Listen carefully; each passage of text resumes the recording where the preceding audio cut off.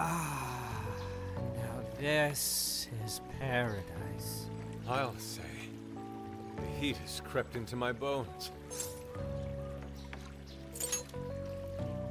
Yeah, that bath was pretty solid. We should go again when we're in town. Anyways, it's nice having a bath like this all to ourselves. Can't get that at home.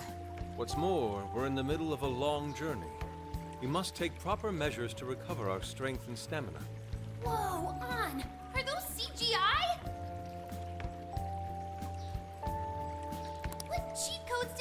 You get those? Dieting life hacks? You're so skinny. Yet, Could you stop drawing attention to me? Go bother Haru instead. Hers are no different. Ah, stop it! Haru, not bad. These could knock someone flat. Could you please keep it down? Remember, it's not only us in here.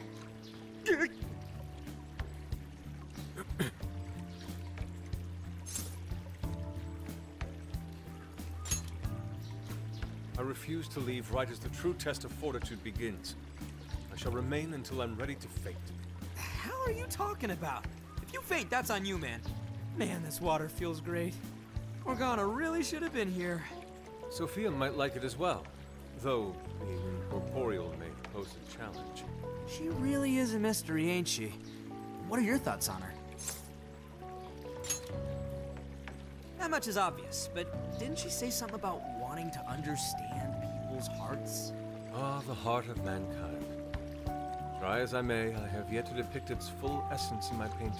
It hides both darkness and light, mingling beauty and atrocity in its depths. Try as you may to unravel it, its enigma grows deeper still. Hmm. Not sure I can comment on that, but I do know Sophia gets along with all of us.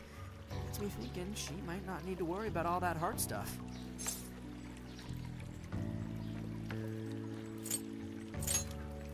Does she not endeavor to become humanity's companion? Perhaps she wishes to uncover the workings of the heart in order to achieve this. Uh, yeah, what you said. She seems pretty dead set on it, too. If that's what Sophia has decided, we should lend her our full support. She is our precious ally, after all. True enough. She could use all the help she can get. Damn, heat's starting to get to me. Want to ditch the bath and grab some milk coffee? Whoa, that sounds good too. Now I can't make up my mind. I protest. We are in Hokkaido, as you may recall. It would be a sin to forego its fresh dairy offerings for some artificial substitute. To appreciate it properly, we must partake right as it's squeezed from the udder, the way farmers have done for millennia. Uh, yeah. Knock yourself out, man.